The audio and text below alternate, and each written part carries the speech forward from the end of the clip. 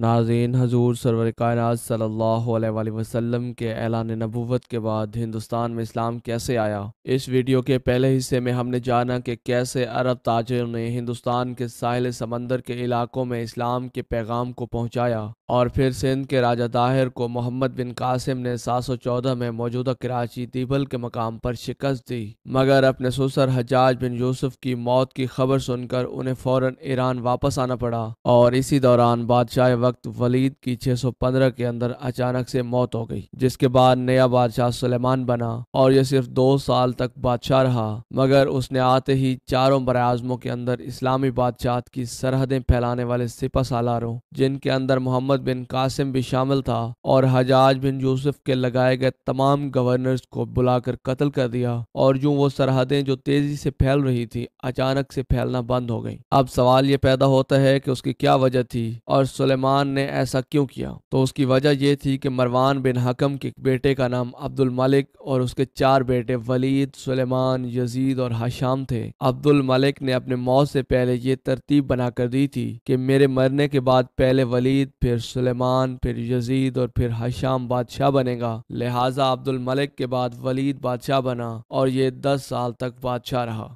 नाजीन हजू लेकिन आप जानते हैं कि हर बादशाह के अंदर कुछ चापलूसी करने वाले या उल्टे मशवरे देने वाले वज़ीर ज़रूर होते हैं। इन्हीं लोगों के मशवरे में आकर वलीद ने अपनी ज़िंदगी के अंदर अपने बेटे को अपना अगला वली यानी अगला बादशाह नामजद कर दिया। हालाँकि ये पहले से तयशुदा तरतीब और अब्दुल मलिक बिन मरवान की वसीयत के खिलाफ था। उसने हर जगह से अपने बेटे के लिए बैत लेना शुरू कर दी और हर एक ने ये बैत कबूल भी कर ली, लेकिन सिर्फ़ एक बंदा उस पर डट गया। गया कि नहीं, ये नाइंसाफ़ी और वादा खिलाफी है। मैं इस बैत को नहीं मानता जिसका हक है उसे ज़रूर मिलना चाहिए। और ये शख्स उस वक्त के मदीना के governor Umar bin Abdul Aziz रजील्ला तन थे। ये रिश्ते में वलीद के बहनोई भी थे, क्योंकि वलीद की बहन फातिमा उनके निकाह में थी, और फातिमा तारीख की वो वाहिद, नेक और ताकतवर खातून गुजरी हैं, जिनका दादा मरवान, बाप अब्दुल मलिक और भाई सब बादशाह रहे, और शोहर Umar bin Abdul Aziz governor, जो बाद में अगले खलीफा बने। उमर बिन अब्दुल अज़ीज़ मरवान के दूसरे बेटे अब्दुल अज़ीज़ के बेटे थे। उस वक्त के बादशाह के सामने कलम हक कहने की सजा सिर्फ़ और सिर्फ़ मौत थी, मगर इस गुस्ताखी पर वलीद ने उमर बिन अब्दुल अज़ीज़ को जेल के अंदर डाल दिया, उन्हें कत्ल नहीं किया। सिर्फ़ चचेला भाई और बहनोई होने की वजह से उनकी जान बच गई। अब ये मामला चल रहे थे और Umar bin Abdul Aziz jail के अंदर ही थे कि अचानक से वलीद की मौत हो गई। लिहाजा सुलेमान ने हुकूमत संभालते ही सबसे पहले उमर बिन अब्दुल अज़ीज़ को जेल से निकाल कर अपना मुशीर खास बना लिया। आप ही वो अकेले शख्स थे कि जो मेरे लिए वलीद के सामने डट गए थे। नाजीन हजाज बिन यूसुफ जालिम और सफाक शख्स था और उसे इतने बड़े इलाके की गवर्नरी इनाम के अंदर दी गई थी कि वो अब्दुल्ला बिन जुबैर को, जिनकी मक्का के अंदर हुकूमत थी, उन्हें कत्ल करके उनकी लाश को तीन दिन तक दरख्त पर लटका कर उनकी माँ असमा बिनते अभी बकर को ये पैगाम भेजने वाला था कि देखो मैंने तुम्हारे बेटे के साथ क्या किया है। उसने फौजियों को हुक्म दिया था कि उस औरत को उसके बालों से पकड़ कर लाओ कि वो देखे कि हमने उसके बेटे के साथ क्या सलूक किया और अगली बार खौफ की वजह से ये दोबारा ऐसा करने की सोच भी न सके। असमा बिनते अभी बकर ने यह देख कर कहा था कि हजाज, तूने मेरे बेटे की दुनिया बर्बाद की और उसने तेरी आखरत। इस जालिम शख्स ने सिर्फ़ एक दिन के अंदर एक लाख बीस हज़ार मुसलमानों को लिटा कर चाकू से जिबा किया था और जो भी उसके खिलाफ बगावत करता था, उसका यही हाल होता था। उसने जंगों में जितने लोगों को कत्ल किया, उसकी तादाद बिल्कुल अलग है। नाजीन तहजीब और तहजीब अलामा हजर असकलानी की किताब के अंदर ये वाक़ दर्ज है। अतिया बिन साद नाम के एक मुहदस के बारे में हजाज बिन यूसुफ को पता चला कि ये अहल बैत और खसूस मौला कैनात हज़रत अली इस्लाम पर सब शतम नहीं करता। उसने मोहम्मद बिन कासिम को ख़त लिखा कि इस शख्स को अपने सामने बुलाकर मौला कैनात हज़रत अली इस्लाम पर सब शतम कराओ और अगर वो इसे इनकार करे तो उसको पूरे चार सौ कोड़े लगवाओ और उसकी दाढ़ी और मूछों के बालों को मूड कर शहर का चक्कर लगवाओ। अतिया बिन साद ने कहा कि मैंने सारी ज़िंदगी अहल बैत का साथ दिया, उनसे मोहब्बत की। अब उम्र के आखिरी हिस्से के अंदर अपनी आखिरत बर्बाद क्यों करूँ? मैं कभी उन पर लानत नहीं करूँगा। लिहाजा मोहम्मद बिन कासिम ने उसे 400 कोड़े लगवाए और उनकी दाढ़ी और मूछों को साफ़ करके उन्हें शहर के अंदर घुमाया, जिसके बाद वो खुरासान चले गए। इसलिए सुलेमान को हजाज, उसके रिश्तेदारों और उसके तमाम लगाए हुए गवर्नर सिपा सालारों और हर दूसरे सिपा सरदार जो कि अपनी मनमानियाँ कर रहे थे, सबसे नफरत थी, जिन्हें बुलाकर एक एक करके उसने कत्ल करवा दिया। और दूसरा, ये सब वलीद के बेटे की बैत करने को भी तैयार हो गए थे, और यही वजह थी कि सुलेमान ने बदले की आग के अंदर हद को तजावज कर दिया। सुलेमान ने अपनी ज़िंदगी के अंदर एक खत लिखकर अपने भाइयों को उस पर बैत लेने का कहा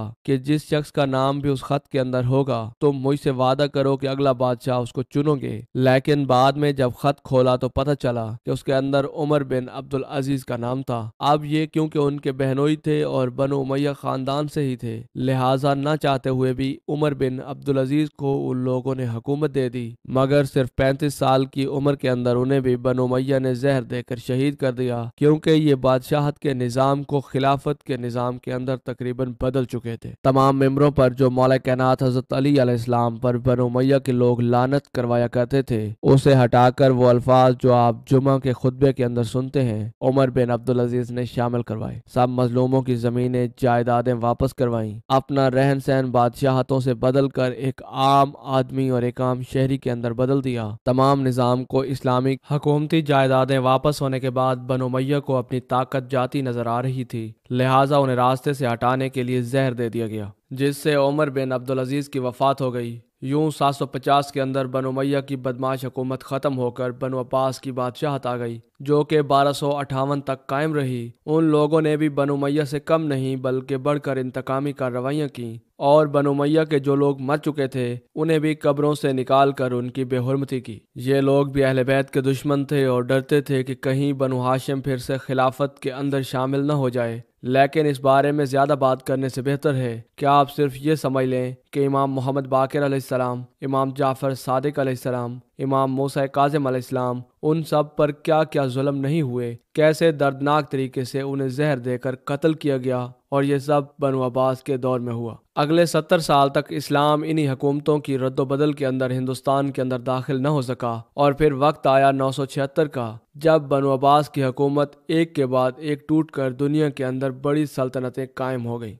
मिसाल के तौर पर सामानी सल्तनत, फ़ातमी, बनो बवाई, सलजूकी, खवारजम शाहौरी और गजनी सल्तनत, जिसकी बुनियाद सुल्तान महमूद गजनवी के वालिद सबुक्तगीन ने रखी थी। और ये वक्त था रसूल करीम सल्लल्लाहु अलैहि वसल्लम के ऐलान नबूवत के 370 साल बाद का और मोहम्मद बिन कासिम के सिंध पर हमले के तकरीबन 101 साल बाद का। सिंध पर तो मोहम्मद बिन कासिम के हमले से मुसलमानों की हुकूमत कायम हो गई थी, लेकिन उस वक्त लाहौर के इलाके से काबुल तक एक राजा की हुकूमत थी। जिसका नाम राजा जयपाल था। जब उसने देखा कि मेरे बगल के अंदर एक इस्लामी रियासत बन रही है और ऐसा ना हो कि कल को मेरे लिए खतरा बन जाए तो उसने फ़ौरन नौ सौ उनासी में गजनी सल्तनत पर हमला कर दिया और काबल और गजनी के दरमियान एक जंग हुई, जयपाल इसमें बुरी तरह से हार गया। उसने सबुख्तगीन से माफ़ी मांगी, अपनी जान की पनाह मांगी, खराज देने का वादा किया और कहा कि मैं आइंदा के बाद इस तरह की गलती कभी नहीं करूँगा। लेकिन वापस जाकर उसने वादा खिलाफी की। उसे पता था कि अब की बार सबुख्तगीन उस वादा खिलाफी पर बदला लेने ज़रूर आएगा।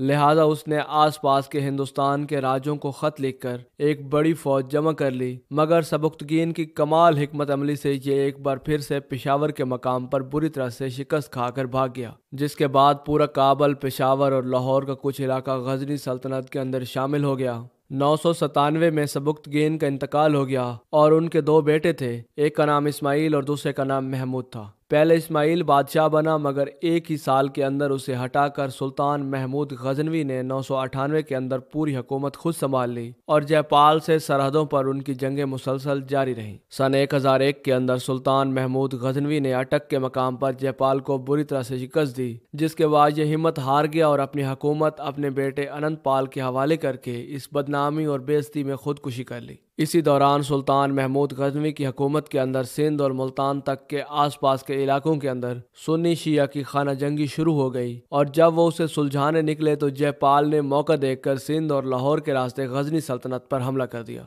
मगर इस बार भी बुरी तरह से हार कर कश्मीर भाग गया। अब सुल्तान महमूद को तो बहुत गुस्सा आया, लेकिन वो सिर्फ़ इसका बदला लेना चाहते थे। उन्हें हिंदुस्तान को फतह करने के अंदर कोई दिलचस्पी नहीं थी, क्योंकि उसके मुताबिक ये कोई सिविलाइज नेशन या कदीम तहजीब तो नहीं थी कि उसके लिए कोई जंग करे। जो शख्स भी जंग हारता या मुल्क बदर होता, वो इसे हिंदुस्तान के अंदर जाकर पनाह ले लेता। यानी ये हारे हुए लोगों की पनागाह थी, जैसा मुगलों ने किया। हारने के बाद हिंदुस्तान आए और यहाँ पर हुकूमत कायम कर ली। सुल्तान महमूद के मुताबिक इससे बेहतर है कि अपनी सल्तनत के दूसरी तरफ़ निकला जाए, जहाँ पर सामानी सल्तनत और खुरासान का इलाका था। दूसरी तरफ़ अनंगपाल ने अपने बाप के नक्शे कदम पर चलते हुए पूरे हिंदुस्तान के राजा महाराजों को खत लिखकर आखिरी बार अपनी फौज जमा करने की दरखास्त की। कि ऐसा ना हो कि हम सब के सब एक साथ मारे जाएँ और जो लाहौर और पेशावर के मकाम पर एक बार फिर से जंग हुई। उसने एक बार फिर से बुरी तरह से हार कर अपना खानदानी रिकॉर्ड कायम रखा। अब सुल्तान महमूद ने सामानी सल्तनत और खुरासान के एक बड़े इलाके को फतह कर लिया और अब बगदाद को फतह करने के बारे में सोच ही रहा था। लेकिन दूसरी तरफ़ ऐसा नहीं था कि हिंदुस्तान के अंदर ये लोग शिकस्त खाने के बाद आराम से बैठ गए थे, बल्कि जगह जगह पर बगावत और छोटे मोटे हमले एक के बाद एक हो रहे थे। मगर सुल्तान महमूद ने इन्हें हर बार शिकस्त से दो चार किया इन्हीं बागियों को सबक सिखाने के लिए उन्होंने हिंदुस्तान पर सत्रह हमले किए। आखिरी बार तुझे गुजरात तक आकर सोमनाथ के मंदिर को भी तोड़ गए थे, क्योंकि उस जमाने के अंदर ऐसे इबादत गाहों की जगहों के अंदर तमाम बागी मनसूबाबंदी किया करते थे। ये उनकी साजिशों का सबसे बड़ा मरकज होता था। उनके रास्ते में कई सौ मंदिर आए, कई गाँव और शहर आए, मगर उन्होंने किसी को हाथ तक नहीं लगाया, सिवाय सोमनाथ के मंदिर के, क्योंकि ये साजिश का मरकज था और यहाँ के लोग औरतों और बच्चों ने भी उन लोगों के जुल्म से तंग आकर सुल्तान महमूद को खत लिखे थे कि हमें इंसाफ दिलवाएँ। जब सोमनाथ के इस बड़े बुत को तोड़ा गया तो उसके अंदर से बेतहाशा सोना और बेतहाशा दौलत निकली, जिसे सुल्तान महमूद अपने साथ ले गया। नाजीन सुल्तान महमूद गजनवी एक इंतहाई नेक और शरीफ इंसान थे, लेकिन उनसे सबसे बड़ी गलती ये हो गई कि वो हिंदुस्तान में आकर हमेशा उन लोगों से जंग करके वापस चले जाते, मगर यहाँ पर इस्लाम का पैगाम फैलाने के लिए कोई कोशिश ही नहीं की, जिसके बाद हिंदुस्तान ने भी ये प्रोपेगंडा किया कि वो दरअसल आते ही उनको लूटने के लिए थे, जबकि हकीकत में ऐसा बिल्कुल नहीं था, वो तो दरअसल साजिशों और बगावतों का जवाब देने आते थे। सुल्तान महमूद के बाद गजनी सल्तनत ने एक के बाद एक कई हुक्मरान देखे। मगर इब्राहिम शाह जो कि एक हज़ार उनसठ से लेकर एक हज़ार निन्यानवे तक बादशाह रहा, उसकी मौत के बाद गौरी सल्तनत को पाँव फैलाने का मौका मिला और ये गौरी कबीला काबल और इराक के दरमियान एक पहाड़ी इलाके के अंदर रहता था और यहाँ के लोग गजनी सल्तनत को खराज देकर अपनी गौरी हुकूमत को चलाया करते थे। अब इब्राहिम की मौत के बाद गजनी सल्तनत के अंदर खाना जंगी शुरू हो गई और इसी का फ़ायदा उठाकर गौरी सल्तनत ने गजनी सल्तनत पर सैफुद्दीन की क्यादत में हमला कर दिया। गजनी शहर पर हमला करके अपने खुद की हुकूमत का ऐलान किया, लेकिन इब्राहिम की फौज ने अचानक हमले के अंदर उन्हें पसपा करके वापस भेज दिया और सैफुद्दीन को कत्ल कर दिया, जिसके बाद अपने भाई की मौत का बदला लेने के लिए अलाउद्दीन ने पूरे के पूरे गजनी शहर के अंदर आग लगाकर उस पूरे शहर में कत्लेआम कर दिया। नाजीन ग्यारह में अलाउद्दीन का इंतकाल हुआ तो उसको बेटा बादशाह बना और उसके बाद उसके चचेरे भाई गयासुद्दीन और उसका भाई शहाबुद्दीन। ग्यारह से ग्यारह तक उन दोनों भाइयों की हुकूमत, जो कि 1206 तक कायम रही और उसके बाद शहाबुद्दीन गौरी का हिंदुस्तान के अंदर पृथ्वीराज से कैसा सामना हुआ और पृथ्वीराज के शिकस्त के बाद हिंदुस्तान के अंदर पहली इस्लामी हुकूमत की बुनियाद शहाबुद्दीन गौरी ने कैसी रखी, इस पर एक अलग डिटेल वीडियो जल्द अपने नाजीन की खिदमत में पेश करेंगे। इसकी मुख्तसर तरीन तारीख ये है कि नक्शे पर आप हिंदुस्तान की हरियाणा रियासत के थ्रोड़ी शहर को देखें और यहाँ पर पृथ्वीराज चौहान और शहाबुद्दीन के दरमियान दो बड़ी खून रेस जंगें लड़ी गई, जिन्होंने अब तक बरसगीर पाको हिंद की सरजमीन पर अपने असरात छोड़े हैं। ग्यारह सौ इक्यानवे के अंदर हिंदुस्तान का नक्शा इतनी रियासतों के अंदर बटा हुआ था, लेकिन उनके साथ जो रियासत लगती थी, ये गौरी सल्तनत थी, जिसमें मौजूदा ईरान, अफ़गानिस्तान, पाकिस्तान का बहुत सारा इलाका शामिल था और इसके हुक्मरान शहाबुद्दीन गौरी थे। उनकी सल्तनत वक्त के साथ साथ फैलती रही। नॉर्थ इंडिया और गौरी सल्तनत की सरहदें क्योंकि उस सल्तनत से मिलती थी, इसलिए शहाबुद्दीन गौरी ने अपनी सल्तनत को बढ़ाने के लिए कई बार इन इलाकों पर छोटे मोटे हमले किए, जो तकरीबन ग्यारह के करीब बताए जाते हैं। लेकिन इसे हिंदुस्तान को हासिल करने के लिए उन्होंने दो बड़ी जंगें लड़ी, जिन्हें बैटल ऑफ़ ट्रेन वन और टू के नाम से जाना जाता है। इस जंग में सबसे बड़ी रुकावट पृथ्वीराज चौहान थी जिन्होंने या तो अपने आसपास की रियासतों को हराकर या उनसे डिप्लोमेटिक ताल्लुकात कायम करके अपनी चौहान सल्तनत को बड़ा कर रखा था, जो कि अपने अरूज पर इतना ज़्यादा फैल गया था। शहाबुद्दीन गौरी ने इस जंग की शुरुआत बठिंडा के अंदर मौजूद एक बहुत ही अहम किले पर कब्जा करके कर दी थी। इसके बाद वो आगे ट्रेन की पहली जंग की तरफ़ बढ़े, जहाँ पर उनका मुकाबला पृथ्वीराज चौहान की फौज से होना था। शहाबुद्दीन गौरी की फौज बीस हज़ार से लेकर पच्चीस हज़ार तक थी, जिसमें ज़्यादातर तीर अंदाज घुड़सवार थे। इसी फौज की वजह से वो ज़्यादातर जंगें जीते भी थे। ऐसी यूनिक तकनीक जिसे मंगोलों ने भी जंग के अंदर अपनाया था कि घोड़े पर बैठकर आगे और पीछे की तरफ़ तीर चलाए जाए, जबकि पृथ्वीराज की फौज इससे डबल थी, यानी पचास हज़ार, जिसमें घुड़सवार, तीरंदाज और बहुत से हाथी और जंगी सामान भी शामिल था। शहाबुद्दीन गौरी को अपने इन्हीं घुड़सवारों पर इतना यकीन था कि वो अपने से डबल फौज के साथ भी जंग में कूद पड़े, जो कि उनका सरासर जज्बाती फैसला या बेवकूफ़ी थी। क्योंकि ये घुड़सवार तभी फ़ायदेमंद हो सकते थे, जब जंग के अंदर फौज बिखरी हुई हो, जबकि पृथ्वीराज की फौज काफ़ी मुनजम थी और एक साथ तरतीब के अंदर मौजूद थी। जो उन तीरंदाजों के हमलों को एक साथ मिलकर रोकने में कामयाब हो गई। पृथ्वीराज की फौज का काफ़ी जानी नुकसान हुआ, मगर इतना ज़्यादा नहीं जितना शहाबुद्दीन ने सोचा था। उसके बाद उनकी फौज ने हमला किया तो शहाबुद्दीन की फौज के अंदर मौजूद कई सरदार और सिपाही छोड़कर यहाँ वहाँ भागने लगे। लेकिन शहाबुद्दीन ने अपनी फौज का हौसला बढ़ाने के लिए अपने फौज के आगे जाकर लड़ने का फैसला किया। इसी दौरान पृथ्वीराज का भाई गोविंद रॉय, जो इस जंग में शामिल था, उसने एक भाले से शहाबुद्दीन पर वार किया, जिससे वो शदीद जख्मी हो गए। इसी दौरान उनकी फौज के एक तुर्क सिपाही ने उन्हें यहाँ से उठाकर अपने घोड़े पर बिठाया और अपने साथ ले गया। और अगर ऐसा न होता तो शायद अपने जख्मों की वजह से वो उसी दिन वहीं पर मर जाते। यूँ पहली ट्रेन जंग शहाबुद्दीन गौरी बुरी तरह से हार गए और वापस अफ़गानिस्तान के इलाके में आ गए। पृथ्वीराज की फौज उनका पीछा करके उन्हें यहीं पर मारना चाहती थी, मगर शहाबुद्दीन की फौज के घोड़े बहुत ही आला नस्ल के और तेज रफ्तार थे, जिनका मुकाबला करना मुमकिन नहीं था और कसम खाई कि जब तक इस शिकस्त का बदला न लूँगा, ये जंग का लिबास नहीं उतारूँगा, किसी औरत से नहीं मिलूँगा, ना नरम बिस्तर पर सोऊँगा, ताकि हर लम्हा मुझे शिकस्त का एहसास दिलवाता रहे। एक साल तक उन्होंने मुसलसल तैयारी की और डेढ़ लाख की तरबियत याफ्ता फौज को फिर से इकट्ठा किया, जबकि दूसरी तरफ़ पृथ्वीराज प्यार मोहब्बत के चक्कर में पड़कर रियासत के मामला से गाफिल होने लगा। उन्होंने गढ़वाल सल्तनत के राजा जयपाल की बेटी को ज़बरदस्ती उठाकर उससे मोहब्बत की शादी कर ली थी और ये गढ़वाल सल्तनत, चौहान सल्तनत के बिल्कुल पीछे मौजूद थी। अगर इन दोनों के दरमियान दुश्मनी हो जाती तो एक तरफ़ से शहाबुद्दीन और दूसरी तरफ़ से गढ़वाल सल्तनत के बीच में चौहान सल्तनत की फौज पूरी तरह फंस कर रह जाती। एक साथ उन दोनों से लड़ न पाती। उस वक्त उनका चौहान अंपायर भी बहुत ज़्यादा फैल चुका था और बठिंडा का किला भी शहाबुद्दीन ने हासिल किया था, वो भी वापस ले लिया था। इससे पहले ट्रेन की पहली जंग के अंदर हमने जाना था कि पृथ्वीराज की मदद उसकी आसपास की रियासतों ने की थी अपनी फौज और असले की सूरत में उनका साथ दिया था। मगर इस बार गढ़वाल सल्तनत ने मदद करने से इनकार कर दिया। फिर वक्त आया सन ग्यारह सौ बानवे का। पृथ्वीराज चौहान ने शहाबुद्दीन गौरी को जब पैगाम भेजा कि जैसे तुम्हें पहले शिकस्त दी थी, आज भी तुम्हें वैसे ही शिकस्त होगी। क्योंकि मेरी फौज आज भी तुम्हारी फौज से दो गुना, यानी तीन लाख की है। बिलावजह लोगों का खून बहेगा। इसलिए अगर इस जंग को छोड़कर वापस चले जाओ तो तुम्हें जान की अमान है। शहाबुद्दीन ने तकबर से भरा हुआ खत पढ़ा।